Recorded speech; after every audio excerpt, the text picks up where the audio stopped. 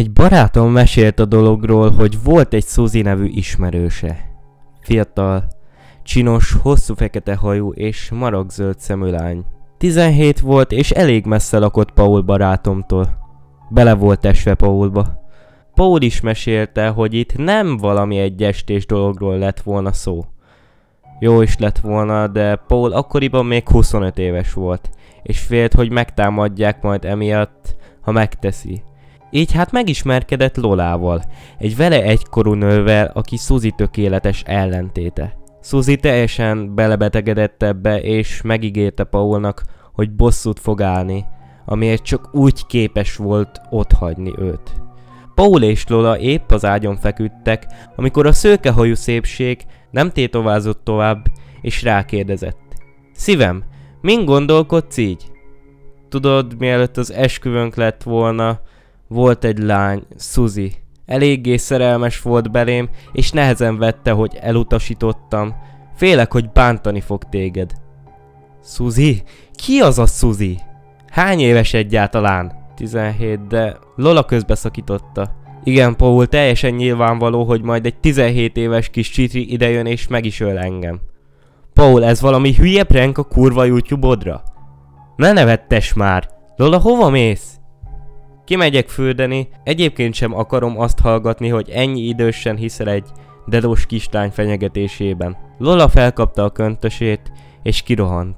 Tele volt dővel és féltékenységgel, amit még jobban próbált elrejteni a férfi elől. Még hogy valami 17 éves kis cafka idejön. Hát persze, beszélt magában.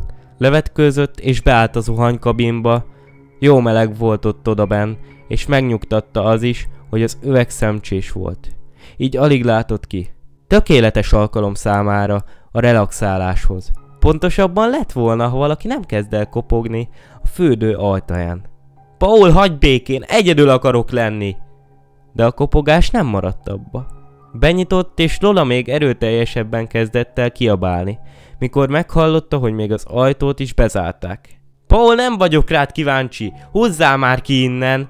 Kilépett a zuhanykabinból, és a lélegzete is elállt, mikor látta, hogy nem Paul állott. Egy fekete, hosszú vizes hajú lány állt neki háttal. Elől két kezével valamit szorongatott. Rémisztő volt a hófehér bőre. Lolán végigfutott a libabőr. Te meg ki vagy? De választ nem kapott. A lány megfordult, a kezében pedig balta volt. Egyik szeme hiányzott. Kezei tele voltak hegekkel, és olyan félelmetes tekintettel bámult Lolára, hogy a vér is megállt szegény lány erejében.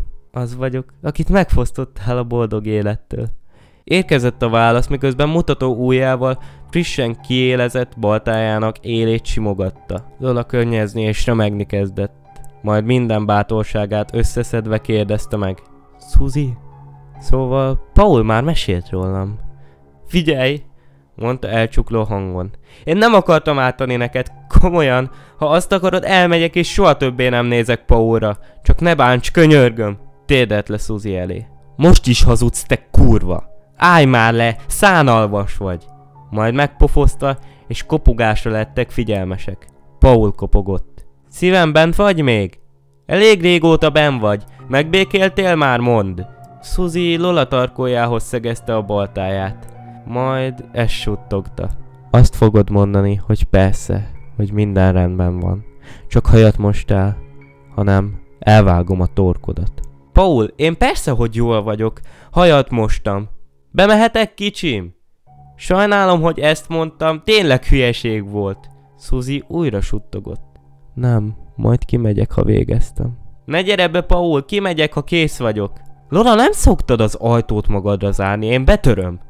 Paul, ne! Hagyta el erőteljes sikítás a száját, és megpróbálta ellökni magától Szuzit, de teljesen sikertelenül. Pault az a látvány fogadta, hogy Suzy Lola fejét tartja a kezében. És a frissen elvágott artériák helyéből vadul és gyorsan fut ki a vér a hófehér padlóra, és csorog végig a hófehér bőrű lány kezein. Lola szemei meg nyitottak voltak és könnyesek, látszott a fájdalom bennük. Paul arcán pedig látszott a sok. Mozdulni sem tudott. Suzy magához rántotta és szenvedélyesen szájon csókolta. majd meg is harapta. Megfogta két kezét, beletette a baltát, de Paul továbbra is csak áltott sokkosan. Látod, Paul? Megölted a feleségedet! Vihogott Suzy elvontan, betegen és elégedetten. A sikolyra a rendőrök is kijöttek. Ameddigre kiértek, az a látvány fogadta őket, hogy Paul a véres baltát fogja, és Lola feje van előtte. Paul barátomat elmegyógyintézetbe zárták. Rajtam kívül senki sem hitt neki. Na persze, azért nekem is vannak kétségeim, bármennyire is jó barátom volt.